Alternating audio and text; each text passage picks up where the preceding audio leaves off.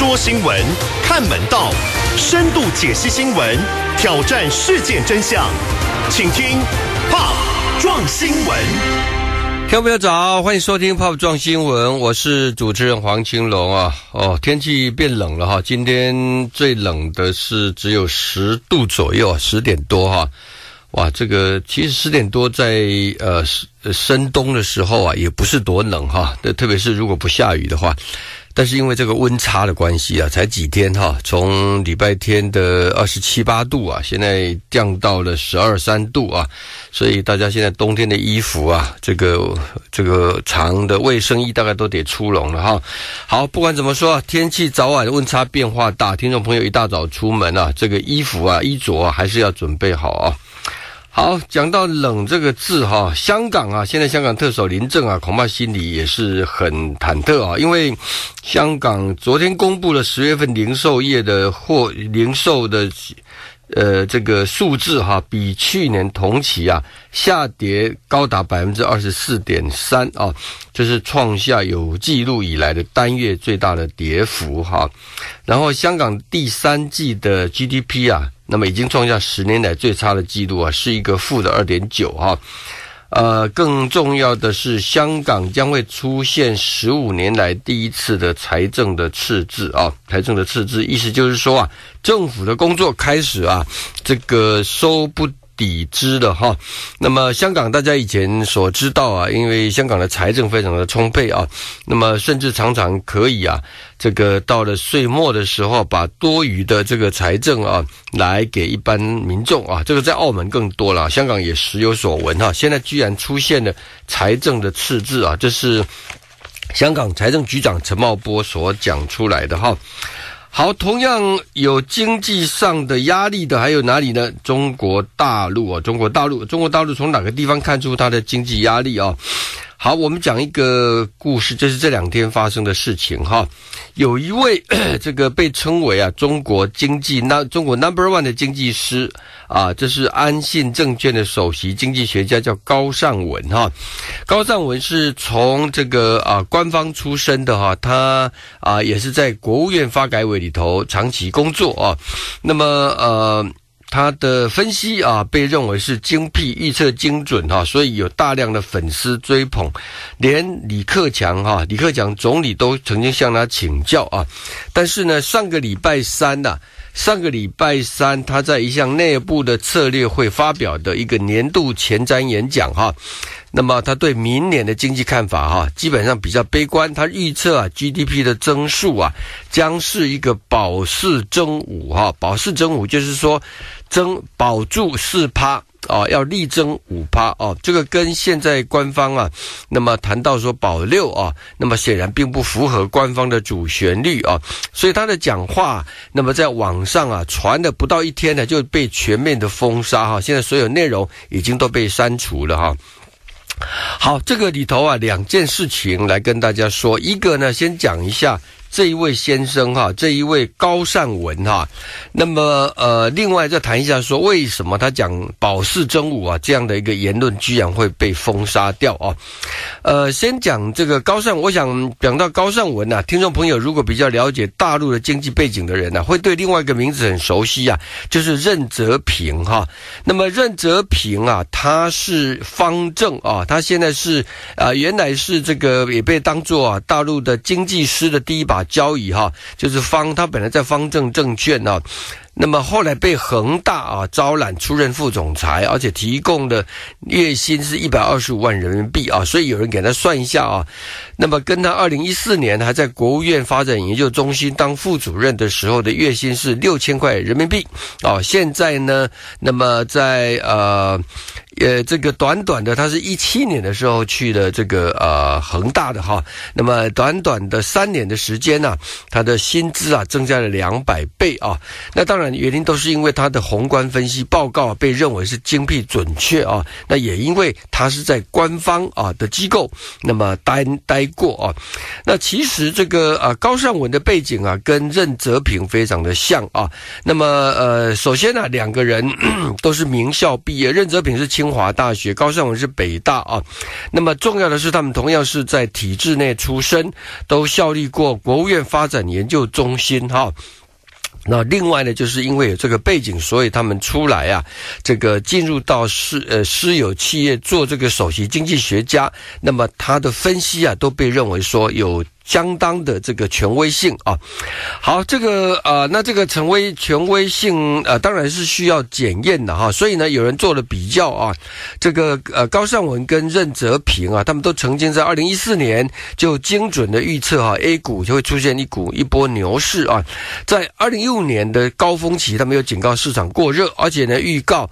中国的 GDP 增速将会显著的放缓，哈，那呃呃这样的一个两个人哈，在这个领域的这样子的得到的肯定，在任泽平哈，那么从官方离开，那么到了民间企业之后呢，高尚文呐，那么因为变成是在中国的。国务院的发展研究中心里头啊，那么比较突出的啊，他每年年尾会发发表一个前瞻演讲，就是备受期待的哈。比如说去年这个时候啊，那么当时很多人对中美贸易战的看法还偏向乐观呐。高尚文当时就力排众议，他认为啊，这个很难乐观，而且今年 GDP 的增速，他认为保六哈是有难度的啊。好，顺着这样的思维哈，那么 上个礼拜三呢，呃，高尚文在。安倍证券内部策略会议上发表一个二零二零年的这个前瞻演讲啊，那么他的演讲很快的跟视频还有 P T P P T 啊，很快整套流出来哈，而且立刻引起疯传啊。当然原因是因为他名气响亮啊，那同时呢也因为内容啊非常的震撼啊。这个震撼是说他的演讲主题叫做用引用老子《道德经》的话叫做知止不殆啊。老子道德经是说知足不入啊，知止不殆，可以长久啊，这是劝人家不要贪心，要适可而止啊。那么他对明年的中国大陆的经济的看法啊，就非常的悲观啊。他认为呢，贸易战的冲击加上以国际民退为代表的改革停滞啊，那么将导致 GDP 增速啊，从二零二零年就会提早进入到保四增五啊。我们知道大陆的 GDP 是从两位数十趴八趴，再来跳到六趴哦，就保六啊。那么现在会不会接着就是往保四增五了？因为本来说如果保六还可以成的话，也许还可以保保五增六啊。他现在不是，他直接跳到保四增五哈。所以呢，呃，也就是说会比今年呢，明年的 GDP 会今年的百分之六啊的增幅呢，甚至要放缓啊，最多到两个百分点哈。那么原因他讲的理由是说啊。这因为呃，北京当局啊，已经今年就用强劲的逆周期措施来对抗经济下行啊，这才勉强啊把增速啊支撑在百分之六左右啊。那么也就是说，这个百分之六啊是强撑出来的，但是呢，刺激政策的效果越来越低。加上内需市场也在减速啊，所以明年经济很难看好。这就是他为什么会有这样的一个悲观的看法啊。但是他这个悲观的看法，结果呢，结果居然就被封存，全面全网封杀了哈。当然，这个封杀很可能跟另外一个原因有关，因为呢。这个月啊，这个月要召开两个重要的会议啊。那么一个就是在十二月上旬会有一个政治局会议啊，这是要来分析研究来年的经济工作，就是明年的经济工作了哈。那另外呢，这个月底呢还会有一个中央经济工作会议啊。那么这个会议更重要，是要为一整年的这个整个经济啊政策来落实哈。那明年当然同时也是澳门呐，澳门回归七十呃二十周年啊，那么估计习近平也会前往澳门的哈。好，这林林总总的整个的这样的一个经济，那当然。表示说哈，如果说连这么样一个出身体制的 一个经济分析家，一个相对稍微悲观的，他其实也不是唱衰的哈，他有根据的哈，但是呢，都因为不符合官方的主旋律啊，那么整个讯息就被删除啊，被屏蔽掉了啊。这个反映的是大陆现在经济的情况啊，可能真的是有大问题啊，因为现在呢，一个人们常问的问题是。中国的经济啊，现在内需不足啊，那么 GDP 每年成长这么多啊，到底钱都跑到哪里去了啊？那么呃，这个钱都跑到哪里去的问题，就跟我们讲到说国进民退，那么多的钱往外汇啊，那么而不是到，因为很简单，你会内需不足，很明显是因为这个民众啊，并没有那么多的钱可以拿得出来消费啊，那这个很可能是你的是不是社会福利制度不够，让所有的家庭。都还必须自己啊拿更多的这个呃经费啊来为医疗了、为养老了哈，甚至来做准备，或者说买房投入太多的钱，亦或者根本就是税负太高啊，政府有钱但民众没钱啊，所以呢整个的内需不足，而内需不足在这个贸易战开打了之后啊，你现在外销有困难啊，那么你其他的这个货币政策或者说减税啊，这个这个。呃，降低这个利息等等啊，这些刺激措施啊，就跟高善文讲的哈，它已经有限的哈，所以这些背景，我想也可能会影响到这个啊，现在中国跟美国的贸易谈判的一个坚强的一个力度啊，甚至呢，对于香港啊法案，就美国通过啊，川普签署了香港人权民主法案呢，那么中方的一个应对的措施啊，都可能跟现在所面对的经济情势是有关。的啊，所以今天节目一开始，先跟您做一个中国经济的一个背景的一个分析。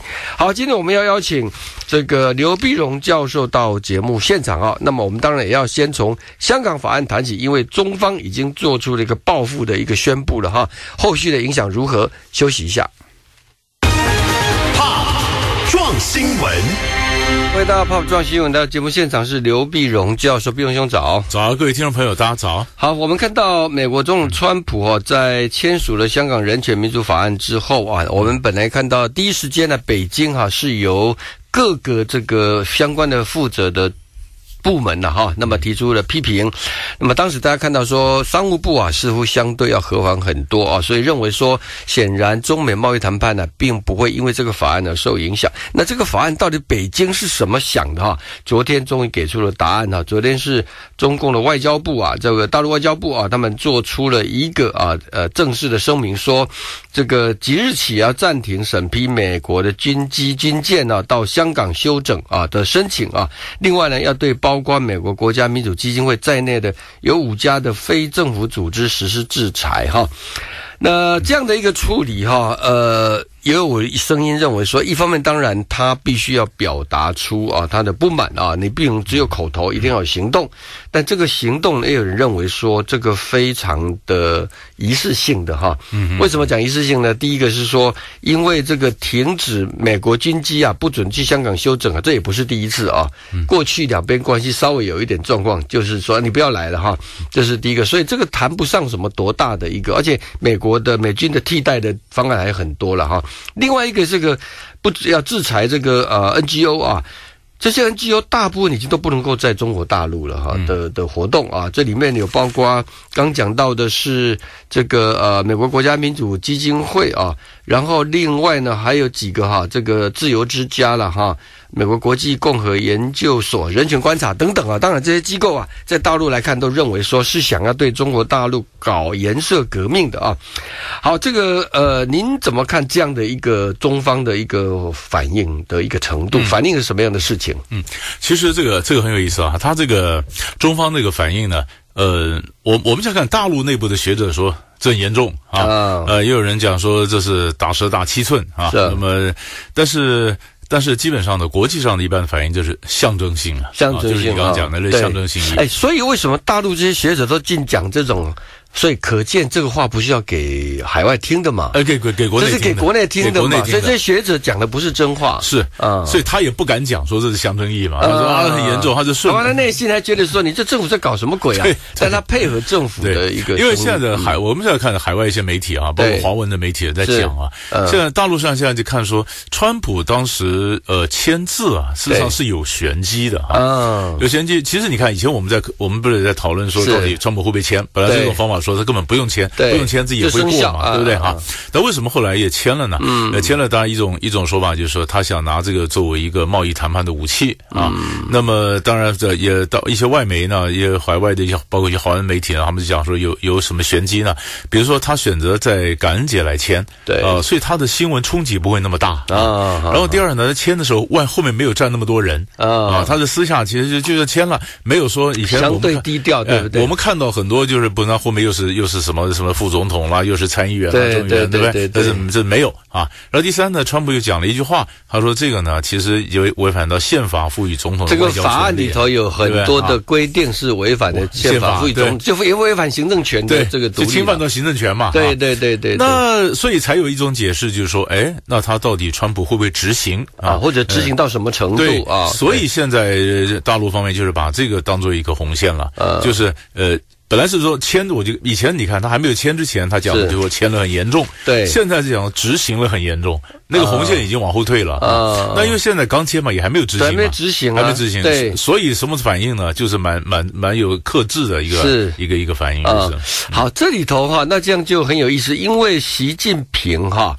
昨天呐，昨天也罕见的啊，那么公开来批评这件事情。以前呢，他都是由外交部发言人这个发言人来讲话，习近平本人倒没有讲过哈。那昨天这个话是他亲自讲的，他批评美国干涉中国内部事务哈，那么威胁中国的国家主权安全，阻碍经济社会发展。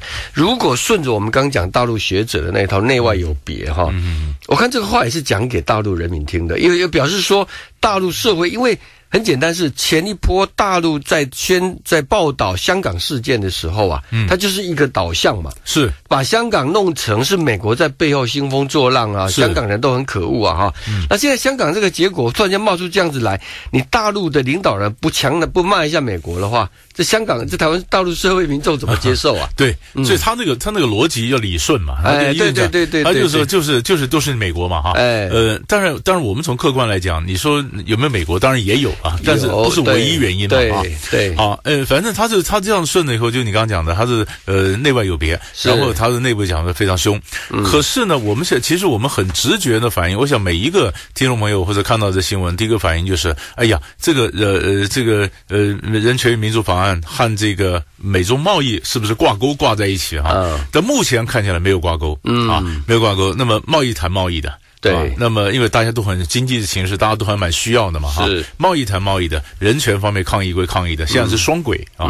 可是如果说一旦这个贸易变成呃这个人权法案或者执行了，呃一年以后他真的开始每一年去 review 去评估了，嗯呃那这个贸易的问题可能就就被挂在一起了。不，到时候也复杂了，也复杂。贸易谈到什么程度啊？对，跟这个关系啊，肯定跟我们现在思考点就不一样了。对对对，这是变化。但是我想今天我们跟让听众朋友也了解了哈，就是说在。大陆你怎么去看他的某一些反应跟动作？这里头当然都牵涉到中美之间啊，包括一个香港法案到最后从签字到落实啊，这个有实跟虚的问题。对啊，对不对？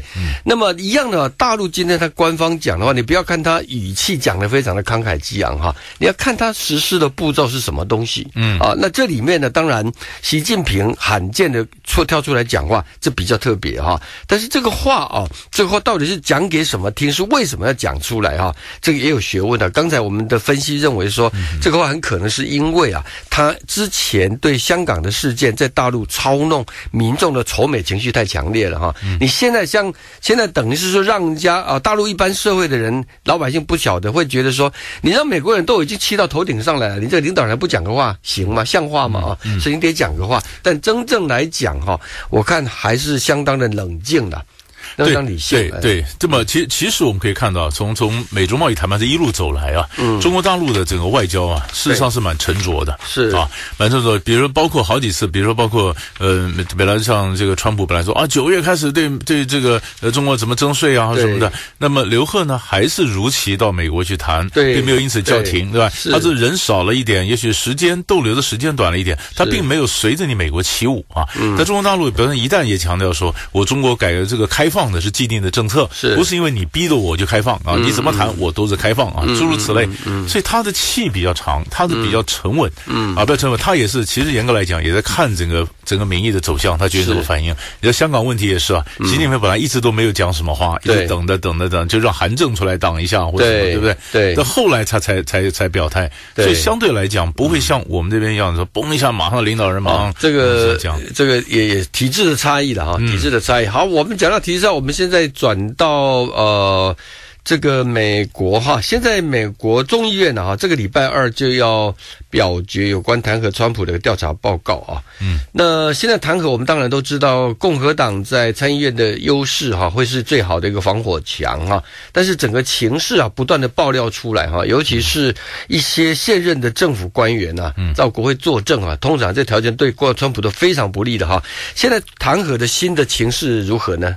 这当然现在弹劾就是希望川普他们或者。他们的礼拜三必须要到国会去，对，要国会去作证。那川普当然讲，包括他的他的法律顾问跟他讲不去，是不去不配合。呃，理由很简单，我要到到到英国去开开这个北约的七十周年的峰会，是嗯不去。不去呢？那么现所以现在其实其实每每一次啊，我们看到我们从外界看到每一次西方媒体，你想着川普也得罪媒体，所以媒体当然对川普是很不友善的。不客气，不每一次讲说，哎，这个爆料很严重啊，那个爆料很严重啊。其实每一个爆料其实都是同一件事儿嘛，就是坐实了他在乌克兰的跟乌克兰总统泽伦斯基打电话，有拿这个援助和他调要求他调查拜登儿子这件事情是挂在一起，这是交换条件。是那么本来川普觉得没有啊。那有人家听到了，你也讲有，其实绕来绕去还是这个事情啊，基本上还是这事情。但是我们以前也谈过，就是共和党想把事情放大，说你要把事情弄大，那样你要叫拜登的儿子也来作证啊，把它放大。对。但是现在就是美呃，他们想的民主党越挖越深嘛，越挖越深，就是说希望白宫的这个法律顾问啊，或者你什么这跟着出来。那现在白宫真的这呃，白宫这边呢，或者他的法律顾问告诉川普，或者说我们这些这些核心的不参嘛，礼拜三有礼拜三要要这个听证啊，为什么不去？不去以后，其实我觉得这样就看看他后面的反应了啊。那各方的表决，那么是不是这么表决？然后是不是真的要把他送到参议院？什么？就有一点好像有一点添加柴火的。像前白宫国家安全顾问 John Bolton 这些，如果最后也必须去的话，这恐怕不可测哦。对，因为有些不可测，因为因为也有里边也有些那个。这个 Bolton 现在已经跟川普有点闹翻了。我讲不但是 Bolton 的，甚至也有人讲，川普到时候可能会放弃朱利安尼啊。他的这个也有讲了啊，说朱利，因为都是朱利安尼在后面帮他操盘，操盘到时候为了自保是 job 都是他在做。对，是不是？是不是把朱利安尼切割了？谁也不想，因为川普的事情很不可预测，不可预测。对，所以所以那里面就是看的变成戏剧性了。就是当初可能呃，其其实其实基本上啊，这呃，共和党里面一般讲说，对川普跟泽伦斯基打电话。讲什么这件事情可能不适当，但是呢，不足以到被弹劾的地步啊。可是川普连这点都不愿意让，他说没有不适当，一切都是 OK 的啊。他连这点都不让，这个就过分了，底下就很难去替他圆了。不过呢，川普又干了一件感恩节干了一件事，他又飞到阿富汗去闹军的哈。嗯嗯，这里头有什么玄机呢？休息一下，光回来继续跟请教刘碧荣教授。怕撞新闻。好，欢迎回到《Pop 撞新闻》呢。感恩节啊，美国白宫啊，通常都会有个仪式啊，就总统要把火鸡啊给他特赦啊。这个仪式已经很久了。哎，川普啊，今年不例外啊，但突然间他人呢又不见了哈，跑到哪里？他专机飞到了阿富汗去闹军了哈。我们很久呃，因为当然川普他在选举总统的时候就讲说，美军呐，他要想办法要结束阿富汗的战争，那么要从叙利亚撤军哈。他现在努力要实现。那所以呢，之前本来已经安排啊，他跟塔利班哈，那么神学士啊，他们要见面嘛哈，甚至说要到海湖山庄去啊。那为了这个事情啊，还引起了像这个啊，他跟底下的重要的幕僚之间的这样的一个一个冲突哈。后来没有具成，那到底现在阿富汗情势怎么样呢？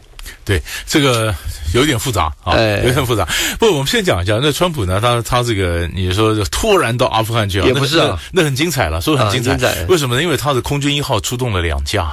啊，一架是骗人的，避人耳目的啊，避人耳目。因为有很多民间的观察家，他会看，哎，这不是看观察飞机的，哎，这不是哪美国总统飞机吗？啊，一架停在哪里，然后在停机棚里面换飞机，啊，换飞机然后飞，一架又飞停在海湖庄园，一下子飞到哪里？所以那个本身是那个光是过程本身就很精彩哈。好，因为我们就看了这个阿富汗的问题哈，阿富汗问题呢，就有川普在那边首先先讲，他说他说啊，呃，塔利班呢已经同意要跟他签停火协定了。嗯，呃，塔利班马上发明发表声明说，呃，塔利班呃已经准备好要谈判了。对，谈判跟停火协定是两件事。呃，对，停火协定是 ending 啊，谈判是 beginning 啊。beginning，他刚开始谈呢。是，但是塔利班他绝对不会那么快就放停火协定。为什么呢？因为他如果缴械停火，他就没有谈判筹码。是，他怎么会停谈呢？啊，那于是我们就看，那以前卡在哪里呢？就是你刚刚讲，上一次几乎要签字了，为什么卡在哪里呢？嗯。因为塔利班他不跟现在阿富汗政府来对谈，嗯，阿富汗政府的总统叫嘎尼，他不跟嘎尼这个这种对谈，他说我跟美国谈，那阿富汗喀布尔当局不是美国扶植的政府吗？嗯，那不跟他谈，那怎么办呢？啊，因为塔利班说，我更不承认他的正当性，我说不跟他谈，不然他上次本来要谈好了，谈好了，那川普本来就想呢，呃，当时在大卫营了，呃，就想想把这个呃塔利班也约去，然后甘尼就是科布尔当局也约去啊，然后他想呢，呃，跟塔利班谈好以后呢，仲裁者，然后出来，然后拉着三边的手啊，和平胜利来，诺贝尔和平奖对对对，那那就那刚你说，那这个塔利班说开玩笑，你那设局嘛，你你你不是跟我谈吗？你把。啊，对方的找来干嘛？不干，塔利班也不就不就那后来川普那就都都不要来了。嗯，这一次呢，忽然又想谈了，是要谈了，所以川普就说：“哎，要开始谈了。”塔利班说可以，但是一般的分析讲说，那请问刚刚我们前面讲的问题，现在有改变吗？嗯，没改变嘛。嗯，没改变。那后来你刚刚你还在嘛？嗯，那他就说。科布尔当局这这科布尔当局人很郁闷，我不是你美国一手扶持的政府吗？啊，那么好，现在更麻烦的一件事情就是九月份呢，阿富汗进行总统大选，大选结果他现在还没算出来，因为很复杂，因为你想阿富汗的这个这个部落之多啊，山的地形啊，那怎么计票计不出来？计不出来。那刚刚你本来讲说，他如果这次选举能够大胜反对党。呃，那他就可以说我更有正当性，所以你川普更不能忽视我。是，可是问题是还没算出来，他能不能够赢到那么多压倒性的胜利？不知道，不知道呢。一百天还没算出来。对，所以这个 这个政府呢，这个政府的正当性就有这么一点，恐怕也有问题。呃，就有问题了嘛？他就有他就有问题。那美国就说，那如果美国急着要跟塔利班谈成，那可可能也就牺牲了。他所扶持的科布尔当局，就是说你想当美国的傀儡啊，你到你会发现到最后怎么死的都不知道。你抱美国大腿，下场就被美国一脚踢开。OK，那以那这个现在两伊啊，最近情势好像有点这个复杂了哈。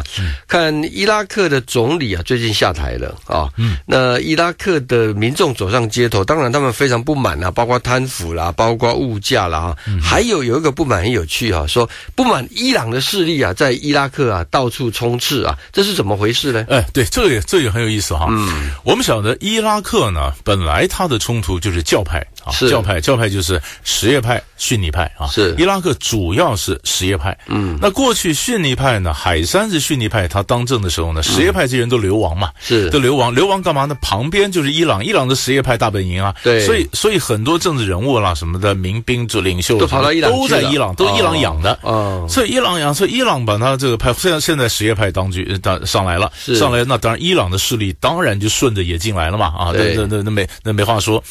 那可是本来呢，它里面有冲突的话呢，我们讲的什叶派、逊尼派冲突。可是这一次的这个呃不太一样。这一次这几个月前引起冲突呢，是因为什么经济的问题啦、政府的无能啦、公共服务的这个这个停摆啦啊。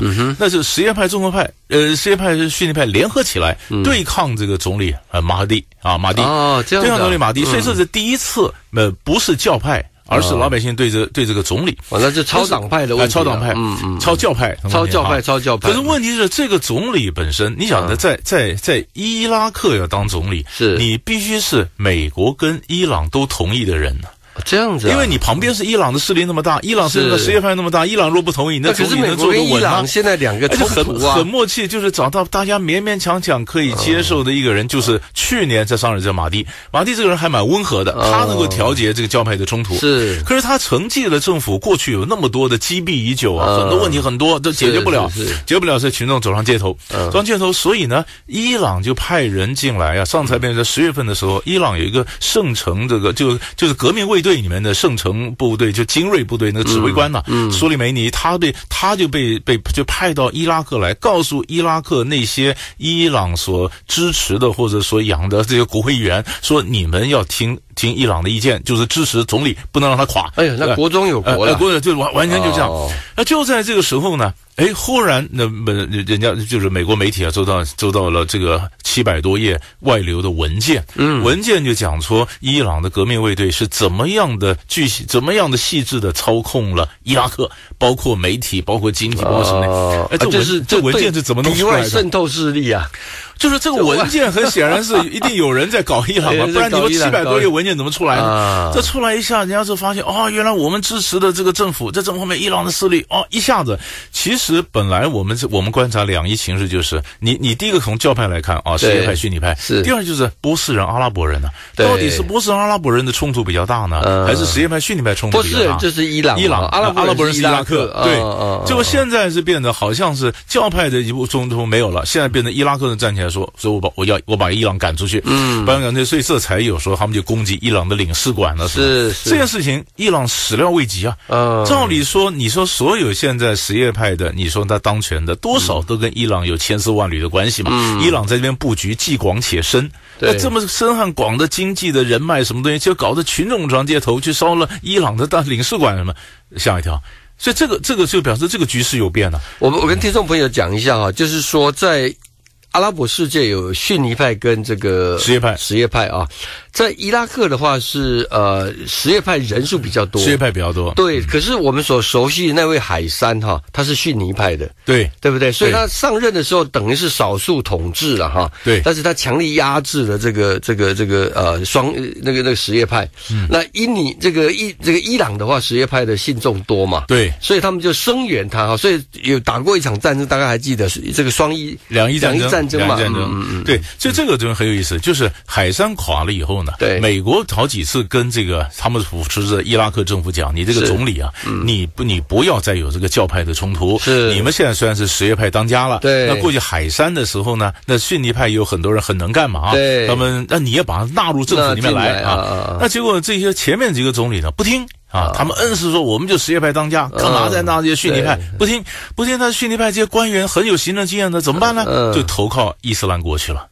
就头就跑到 IS 去了，这为什么 IS IS 跟一般恐怖组织不一样？它有一个雏形的政府，它也有石油部，也有什么？就是很多海上跟伊拉克这个背景有关。所以就是二零零三年和海山一垮了以后，所以很多的这个逊尼派过去了。所以为什么说现在这个马蒂当然总理还不错？就是他尽力消弭这个什叶派逊尼派的冲突，他能把它整合起来。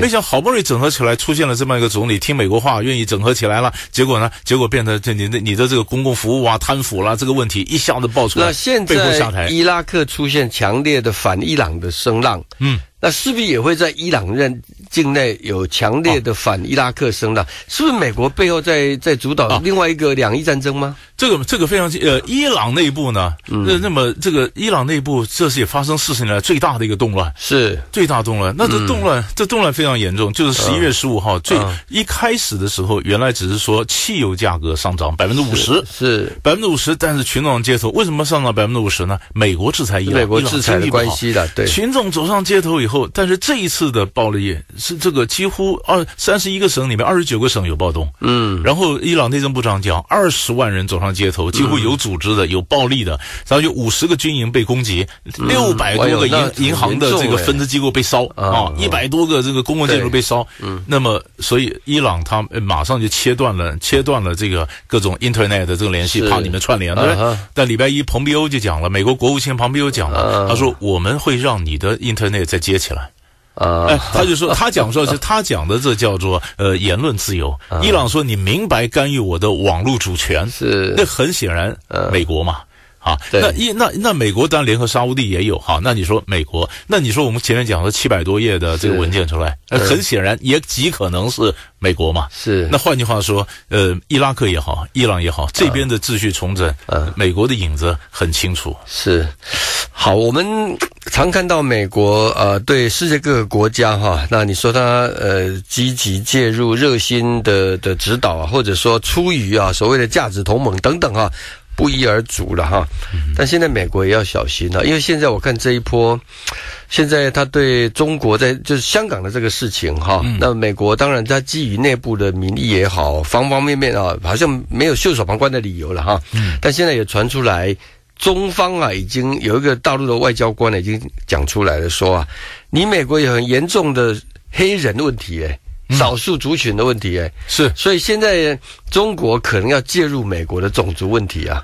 他他现在中中国就讲好，他说我现在对美国反击，打你的就是种族问题，种族问题啊，问题，对。对啊，所以这个东西，美国不要看说别的国家，呃，除了苏联就用这个所谓的俄罗斯的这个所谓的呃影响选举以外啊，你平常国内的内政啊，美国要小心的哈，这会不会是另外一个叫做必须要反渗透法呢？啊，好，我们休息一下，广告回来之后继续跟刘碧荣教授，我们要请教一下现在的欧洲哈，似乎已经不再以。马美国为马首是瞻呐，那么欧洲出现了什么样的变化呢？休息一下。怕撞新闻。回到《泡泡撞新闻》啊，最近其实国际间有几个重要的会议正在举行的哈，包括全球气候峰会哈，在西班牙。那我们过两天会找时间来跟专家请教谈这个话题哈。然后另外啊，就是北约的会议啊哈，也在进行当中啊。当然内部也先吵成一团哈，因为这个马克宏法国总统曾经讲说，这个北约啊已经快要脑死了哈。那但是呢，很多美国又施压北约，要求多分担军费啊的一个调整啊。那最近可最明显的一点是，法国总统跟这个德国总理啊。呃，这个梅克尔啊，他们纷纷到要到中国访问啊或者跟中国发表了一个看法，就是说，他们认为跟中方必须是一个积极的 一个来往的关系啊。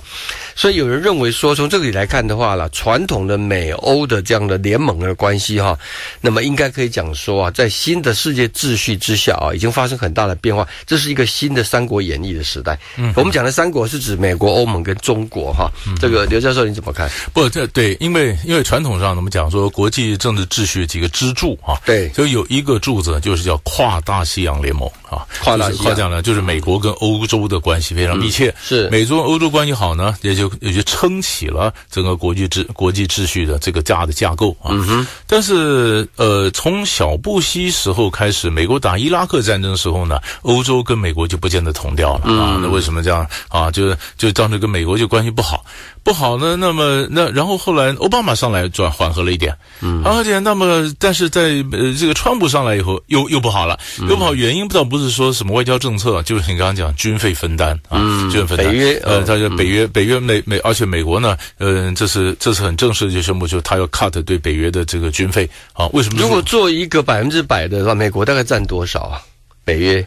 我甚至看那个数字，好像德国现在负担比例已经很高了，好像到十四趴左右了。他现在，他也是说，你这，你你你说，好像从 GNP 的呃 G GDP 的角度，呃，百呃两趴的角度来看，你你你要付多少？多少？那结果你看，结果现在说，那美国说大部分都没，很多国家都没做到，二十几个国家嘛，二十几个国家就就几个大国都没有做到哈。英国本来是贡献蛮多的啊，但这德国、法国都都不够，都不够，那怎么办呢？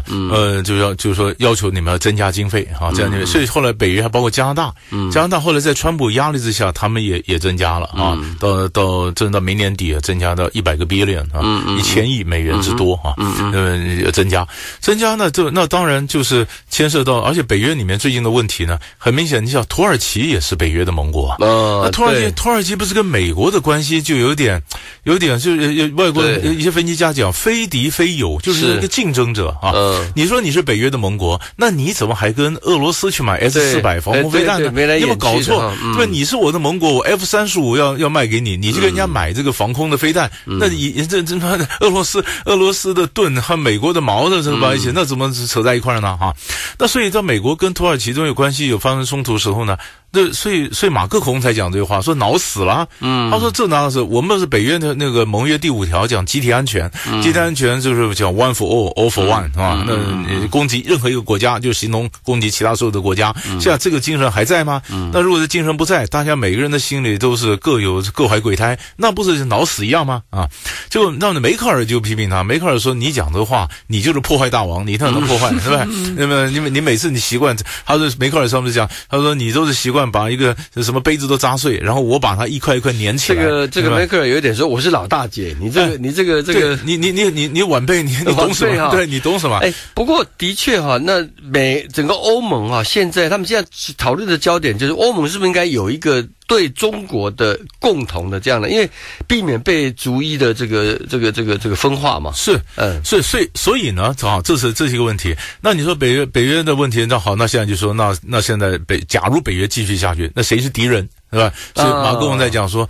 呃，中国、俄罗斯都不是敌人呐，啊，这个我们跟中国、俄罗斯都可以对交往嘛。对啊。好，那那那于是北约要找新的任务啊，是，就是北约呢，在冷战时候呢，对是对付苏联是一个华沙公约国组织，没错。那华沙公约已经解散了，那北约没解散，所以北约就必须找他新的任务啊，对，比如说内战啊，区域冲突啦。是。那可是现在现在是北约需要找寻灵魂的时候啊，这所以现在是呃，质疑北约的未来，还是质疑北约存在的价值啊？这内部就有很多不同的辩论。它有个转型的困扰了，是，嗯。现在就以前这个华约就冷战结束，北约已经面临过一次转型的困扰，那现在呢又是一个转型困扰。所以听众朋友，我跟大家讲哦，现在分析国际局势哦，其实有很多人很怀念冷战时代啊，因为冷战时代敌人很清楚啊，简单，哎，很简单，朋友很清楚啊，对。